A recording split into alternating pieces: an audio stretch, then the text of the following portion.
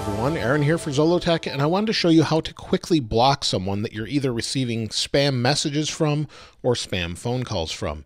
So if it's something you don't want to hear from anymore, you can quickly block them. So let me show you how to do that. We'll start with messages. I'll go into message, and you'll see right here, this is just a receipt I received from buying something. But if I wanted to block this from coming into my phone, just hit this little eye up here and instead of adding it to contacts, anything like that, you kind of had to do that in the past. You want to hit this little arrow in the upper right. And then at the bottom, you'll see block this caller. Tap on this and you can block the contact. Now let me show you how to do that in phones and then I'll show you how to unblock the contact as well. So if you go into phone and you'll see here's a bunch of phone numbers that called me.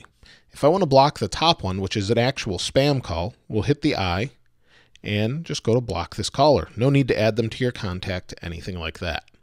So I just block the caller. They'll no longer be able to get through, and they won't even know it. They won't know that they've been blocked. Same with the messages. If you want to unblock this number later on, you can do that, and you do that by going to settings. So if we go into settings, then scroll down till you see phone. Under phone, you'll see call blocking and identification. Go into that. And the one that you blocked most recently is at the bottom. If you want to unblock that, hit edit in the upper right, tap on the little minus, and hit unblock.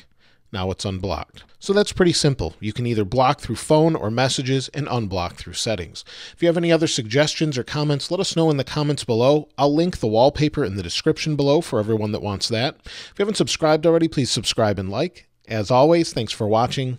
This is Aaron. I'll see you next time.